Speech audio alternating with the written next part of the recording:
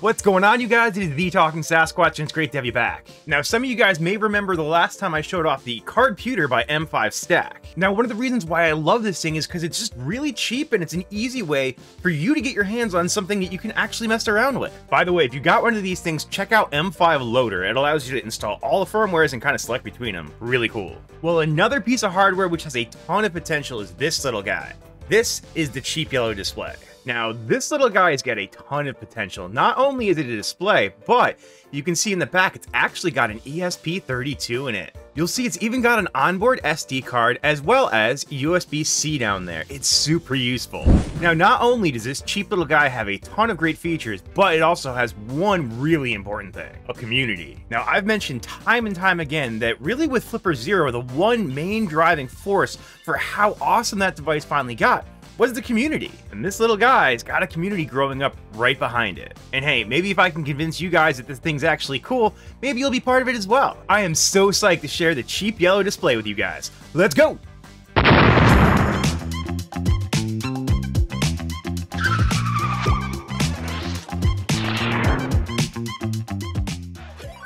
Now, a little while ago, a community member named Brian Lough reached out to me to introduce me to the cheap yellow display. So it's been on my radar for a while, but a few things kind of came up recently that really got me, you know, wanting to make a video about it. Now, it turns out on Etsy, people are selling the cheap yellow display as a Wi-Fi penetration testing tool, flashed with Marauder, and they're selling it for like $60. They're not even selling it with a cool case like this one that I printed right over there on the Bambu X1 Carbon. Now, usually I try not to get too involved in things like that, but it just seems like such a waste and kind of a scam because this guy, this guy costs $17 on Amazon. And hey, I know what you might be thinking, like, I don't want to have to deal with all the firmware stuff, that sounds difficult, and if it came down to having to use Arduino IDE, which I despise, I'd agree with you. But the cheap yellow display community's got you covered. They actually have a web flasher for installing that exact same firmware. It couldn't be easier. All right, so let's take a closer look at the cheap yellow display.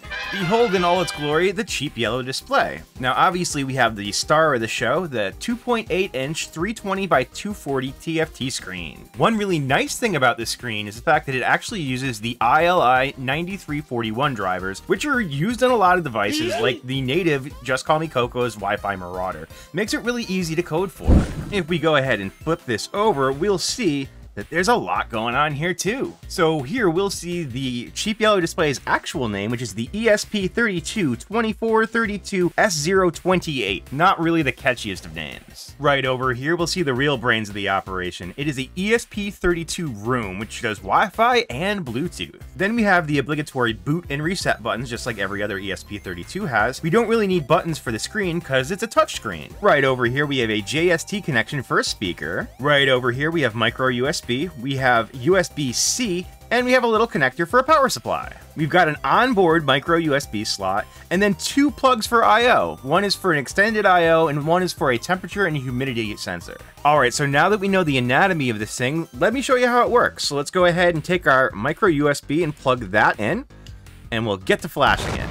Alright, so this is pretty much where it all started. This is Brian Lough's GitHub. Make sure to give him a star. So this is basically where he just kind of shows off a little bit of information on the cheap yellow display and kind of explains a bit of why he likes this project so much. One of the great things about the cheap yellow display is that it pretty much has all of the things that you need right out of the box. You don't have to do anything. You don't really need to solder anything. It all just kind of works. And as he says over here, basically, it's just a great community project. Everybody's on the same page. Everybody's using the same hardware. So it's just an easy thing to develop for. Now, Brian's gone through and given us a ton of great resources when it comes to the cheap yellow display. I'm going to go ahead and download the zip to my desktop and we're going to head back here later. But check it out. Even if we go to 3D models, he's got a bunch of different cases for this just right on the GitHub. You can click on the STLs and you can check them out. Actually, here, let me do the top down and I'll show you what mine looks like. So yeah, I grabbed the STL for this directly off of his GitHub. It's a great little case. It has spots for heat set inserts, which are really nice. So this whole thing just screws together and goes together super, super easily. Actually, might as well throw this thing in here while I'm here. Might as well throw the SD card in just like so. Boom. Put this in like so. There we are. Pop the top on like that. We got four screws. And there it is. Super cool. I love the transparent filament on these cases. Just look how good that is. All right, cool. So beyond that, he's actually got a ton of examples as well. We're going to show you how to install one of these later on using Platform IO. But you know what we won't wait for is this segue to today's sponsor, PCBWay. Look, do you want to make something like the cheap yellow display yourself? Well, guess what? You can, thanks to PCBWay. Now, when I say that PCBWay can help you make pretty much any project you want like this, it's because that's what people like this use to make these devices. They can help you each and every step along the way from designing your PCB to printing a case to doing CNC sheet metal fabrication. They do so much for you. You can even design a PCB and then select a display from their module store for it. Now you've got a PCB and a display, but you gotta connect them together. You can even buy a soldering iron there for it. That's where I got mine. You see that cool screwdriver I was using to put the case together? PCBWay.com. So no matter what your electronics project is, PCBWay.com has got you covered. As always, thank you so much to PCBWay for your continued support. You guys are absolutely awesome.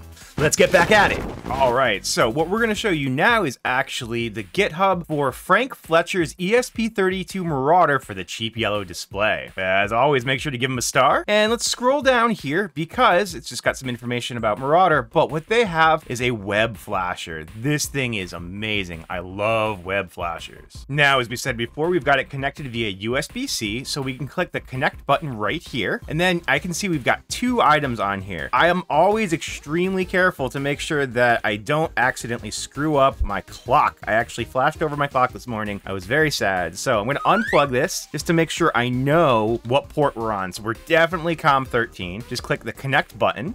There we go. We can select the board. So mine is USB without GPS because I don't have GPS. We're going to select that. And actually, let me pull up the camera and you can watch with me what's going on here. All right, here we go. Just go ahead and press the program button and it's going to do its thing. It does take a couple minutes, so, you know, be patient. It'll get there. Also, it is best practice to leave this window in the foreground, so don't minimize it or anything. According to the flasher, it could help. I don't know, but we'll find out.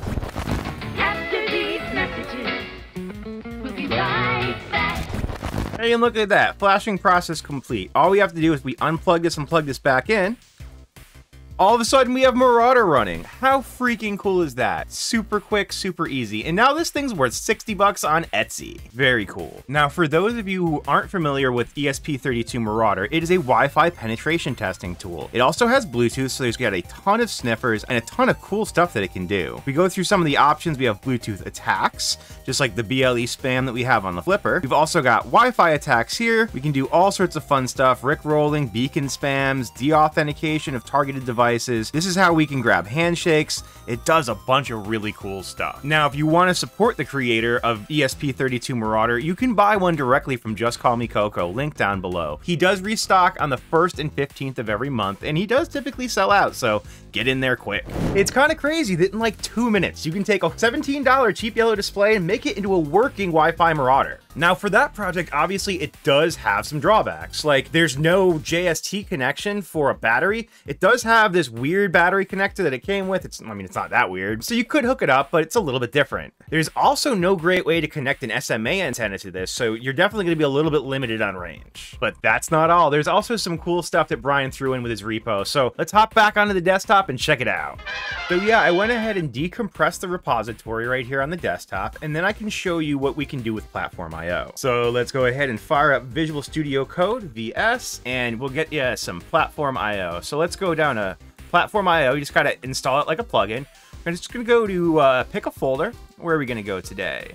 So yeah, we're in here to the examples, and he's got projects, Let's go ahead and just do the rolling clock. One of the things I love about Platform IO is that you can just open the folder that the project is in and effectively just fire it off right there. It's super cool. One thing I am going to do is change it from auto to selecting the port manually. Why am I doing that? Because again, as I was preparing for this video, I overwrote my Nixty clock for the fifth time. I keep talking about it and I keep doing it. So I know this is COM13. And then we're just going to go ahead and click the upload button down down here, this will build and upload all in one step. It's so, so easy. I love Platform IO so much. It's so much better than Arduino IDE. A few moments later. Hey, look at that. Just like that, we've got ourselves a working clock. Super cool. I love the cheap yellow display.